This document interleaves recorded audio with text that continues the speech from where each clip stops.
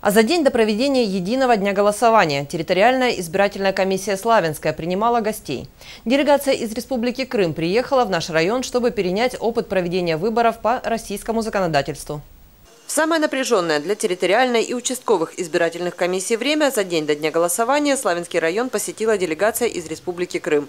Встречу провели представители комиссии совместно с администрацией Славянского района.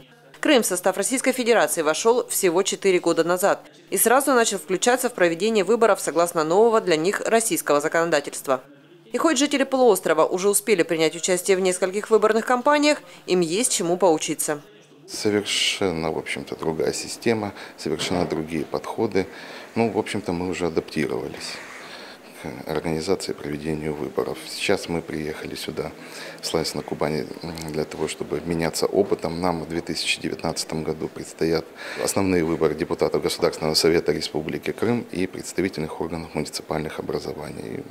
В рамках, уже в рамках подготовки и проведения грядущих выборов мы приехали к нашим коллегам в Краснодарский край посмотреть, как, как у них здесь организуются и проводятся выборы.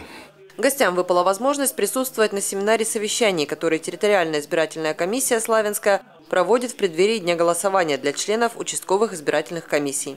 О взаимодействии органов местного самоуправления и территориальной избирательной комиссии рассказал заместитель главы Славянского района Сергей Поздняков. Председатель территориальной избирательной комиссии Славянская Анатолий Чумаков в своем выступлении уделил особое внимание работе членов участковых комиссий со списками избирателей, подготовке помещений для голосования – Рассказал о порядке голосования на избирательном участке и вне помещения для голосования.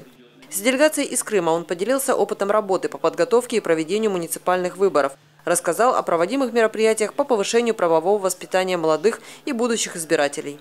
У нас опыт богатый, поскольку они находятся у нас в государстве наше российском недавно, у них совсем другая система была, поэтому они приехали к нам. А у нас есть чем поделиться. У нас как говорится, у нас опытные члены участковых избирательных комиссий, опытные члены территориальной избирательной комиссии, потому что многие работают уже не по одному, не то что там 5-7 лет, а не по одному десятку лет, которые, особенно у нас председатели комиссии, вот эти, которые сейчас будут выборы проводить, они уже работают по 20 лет комиссии. Поэтому люди знают свою работу, люди выполняют свою работу.